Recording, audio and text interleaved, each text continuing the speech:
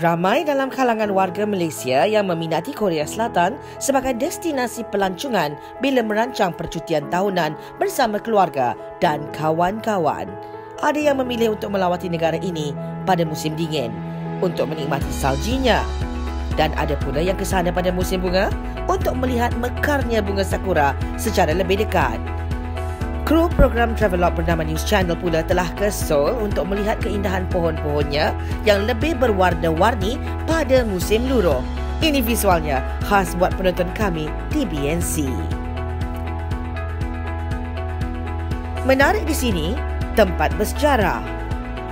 Kesibukan tempat membeli belah.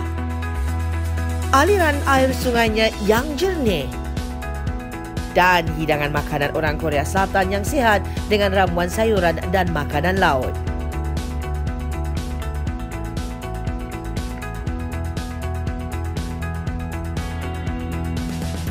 Masjid Itaewon yang mendamaikan turut dilawati.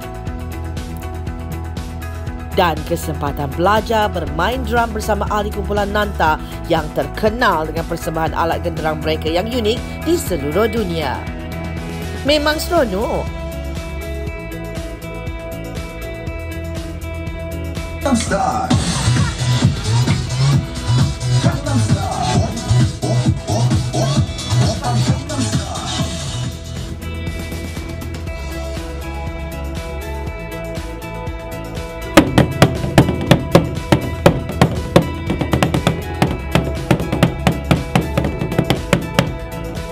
아카데미 서울 오세요.